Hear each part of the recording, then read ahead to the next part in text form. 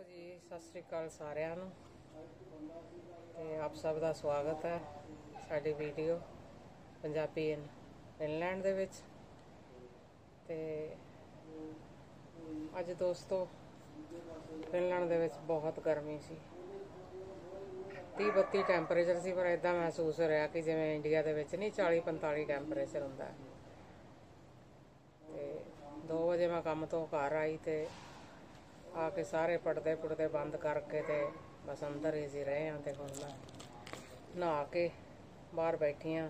ਸੋਚਿਆ ਕਿ ਤੁਹਾਡੇ ਨਾਲ ਅੱਜ ਦਾ ਦਿਨ ਸ਼ੇਅਰ ਕੀਤਾ ਜਾਏ ਤੇ ਭਾਵੇਂ 30 32 ਟੈਂਪਰੇਚਰ ਸੀ, ਇੱਥੇ ਮਹਿਸੂਸ ਇਸ ਕਰਕੇ ਬਹੁਤ ਜ਼ਿਆਦਾ ਹੁੰਦਾ ਕਿਉਂਕਿ ਫਿਨਲੈਂਡ ਹੈ ਉਚਾਈ ਦੇ ਉੱਪਰ ਤੇ ਇੰਡੀਆ ਸਾਡਾ ਜਿਵੇਂ ਕਹਿ ਲਓ ਵੀ ਥੱਲੇ ਹੈ। ਇਸ ਕਰਕੇ ਇੱਥੇ 30 32 ਟੈਂਪਰੇਚਰ ਬਹੁਤ ਜ਼ਿਆਦਾ, ਸਾਰੇ ਹਾਲ ਹਾਲ ਕਰ ਰਹੇ ਸੀ ਅੱਜ ਤਾਂ। ਉਹ ਵੱਟ ਕੱਢਦੇ ਤੇ ਅੱਜ ਫਿਨਲੈਂਡ ਦੇ ਵਿੱਚ ਗਰਮੀ ਨੇ। ਹੁਣੇ ਬਸ ਨਹਾ ਕੇ ਵਿਰਕ ਸਾਹਿਬ ਨੂੰ ਸਲਾਦ ਬਣਾ ਕੇ ਦਿੱਤਾ, ਉਹ ਸਲਾਦ ਖਾ ਰਹੇ ਨੇ। ਤੇ ਮੈਂ ਤਾਂ ਹੁਣ ਤੁਹਾਡੇ ਨਾਲ ਬਹਿ ਕੇ ਗੱਲਾਂ ਬਾਤਾਂ ਕਰੀਏ। ਸਟੋਰ ਜਾਣਾ ਸੀ, ਬਸ ਸਟੋਰ ਵੀ ਨਹੀਂ ਗਏ ਇਸੇ ਕਰਕੇ ਕਿਉਂਕਿ ਗਰਮੀ ਬਹੁਤ ਸੀ। ਉਹ ਗੱਡੀਆਂ ਦੇ ਵਿੱਚ ਵੀ ਬਹਿਣਾ, ਫਿਰ ਥੋੜੀ ਦੇਰ ਭਾਵੇਂ ਅੱਧਾ ਘੰਟਾ ਸਟੋਰ ਦੇ ਬਾਹਰ ਖੜੀਆਂ ਰਹਿਣ ਤੇ ਜਦੋਂ ਆ ਗਈਏ ਵਾਪਸ ਤੇ ਆ ਹੁੰਦਾ ਜਿਵੇਂ ਬਾਂਬੜ ਮੱਚ ਰਹੇ ਨੇ। ਥੋੜਾ ਬਹੁਤਾ ਸਮਾਨ ਪਿਆ ਸੀ, ਫਿਰ ਸਭ ਨੂੰ ਕਿਹਾ ਕੱਲ ਮੈਨੂੰ ਛੁੱਟੀ ਹੈ।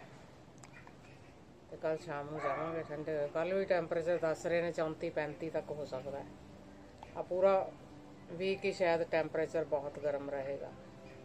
ਉਹ ਬਹੁਤ ਗਰਮ ਰਹੇਗਾ ਟੈਂਪਰੇਚਰ ਔਰ ਇਹ ਗੋਰੇ ਲੋਕ ਤਾਂ ਬਹੁਤ ਖੁਸ਼ ਹੁੰਦੇ ਨੇ ਜਦੋਂ ਗਰਮੀ ਪੈਂਦੀ ਹੈ ਇਦਾਂ ਇਹ ਤਾਂ ਹੁਣ ਸਾਰੇ ਸਮੁੰਦਰ ਤੇ ਗਏ ਹੋਣੇ ਨੇ ਨਹਾਉਣ ਬਾਕੀ ਉਦਾਂ ਵੀ ਛੁੱਟੀਆਂ ਲੋਕ ਲੈ ਲੈਂਦੇ ਨੇ ਜੂਨ, ਜੁਲਾਈ। ਤੇ ਬਾਹਰ ਜਿਵੇਂ ਇਹਨਾਂ ਦੇ ਘਰ ਨੇ, ਜਿਵੇਂ ਆਪਣੇ ਡੇਰੇ ਕਹਿ ਲਓ ਇਹਨਾਂ ਨੇ ਜੰਗਲਾਂ ਦੇ ਵਿੱਚ, ਜਿਵੇਂ ਮਿੱਕੀਆਂ ਹੁੰਦੀਆਂ ਨੇ ਛੋਟੀਆਂ ਛੋਟੀਆਂ।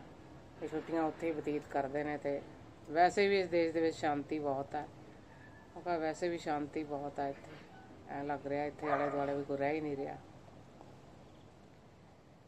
ਬਾਕੀ ਇੰਡੀਆ ਦੇ ਵਿੱਚ ਤਾਂ ਗਰਮੀ ਬਹੁਤ ਪੈ ਰਹੀ ਹੈ। ਅਰਦਾਸ ਕਰਦੇ ਆ ਕਿ ਰੱਬ ਉੱਥੇ ਆਪਣੀ ਮਿਹਰ ਕਰੇ। ਤੇ ਇੰਨੀ ਗਰਮੀ ਨਾ ਪਵੇ, ਉਨੀ ਉਹ ਪਾਵੇ ਜਿੰਨੀ ਕੁ ਲੋਕਾਂ ਤੋਂ ਬਰਦਾਸ਼ਤ ਹੋ ਸਕੇ। ਤੇ ਬਸ ਇੰਨੀ ਕੁ ਵੀਡੀਓ ਦੇ ਨਾਲ ਹੀ ਮੈਂ ਸਤਿ ਸ਼੍ਰੀ ਅਕਾਲ। ਅਗਰ ਕੋਈ ਗਲਤੀ ਹੋ ਗਈ ਹੋਵੇ ਤਾਂ ਮਾਫ ਕਰਨਾ। ਬਾਕੀ ਸਾਡੀ ਵੀਡੀਓ ਨੂੰ ਲਾਈਕ ਕਰਿਓ ਸ਼ੇਅਰ ਕਰਿਓ ਸਬਸਕ੍ਰਾਈਬ ਕਰਿਓ, ਕਿਉਂਕਿ ਅਸੀਂ ਅੱਗੇ ਵਾਸਤੇ ਵੀ ਤੁਹਾਡੇ ਲਈ ਹੋਰ ਵੀਡੀਓ ਵਧੀਆ ਲੈ ਕੇ ਆਇਆ ਕਰੀਏ। ਕਿਉਂਕਿ ਜਦੋਂ ਸਾਡੀ ਵੀਡੀਓ ਨੂੰ ਤੁਸੀਂ ਸਬਸਕ੍ਰਾਈਬ ਕਰੋਗੇ ਤਾਂ ਤੁਸੀਂ ਸਾਡੀ ਆਉਣ ਵਾਲੀ ਵੀਡੀਓ ਵੀ ਦੇਖ ਸਕੋਗੇ।